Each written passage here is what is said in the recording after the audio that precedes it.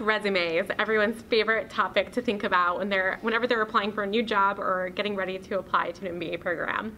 So what is a resume? A resume is a one-page summary of your experiences, which sounds like it should be super simple and self-explanatory, but it's actually the place where a lot of people mess up. So let's talk about how to have a good resume.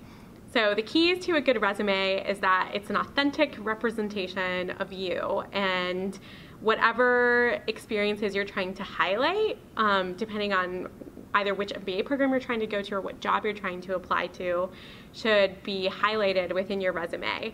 So thinking back on your past experiences, try to highlight one area, one bullet point where you highlight your leadership experience, the second, highlighting some sort of analytical or technical capability that's necessary for the job that you're applying for.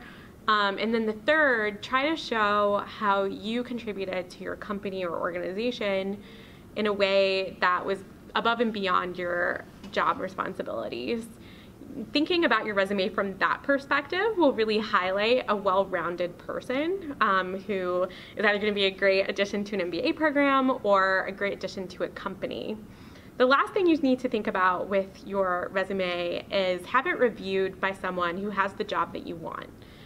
During the MBA, it's really easy to network with professionals in, in jobs that you may want. So developing that network um, is beyond just coffee chats and asking about their experiences, but also trying to get their view on whether your resume would uh, is a good representation of your dream job.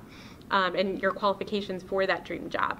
So having someone on the inside that has that perspective, they may be able to help you highlight your experiences in ways that you might not have thought of before.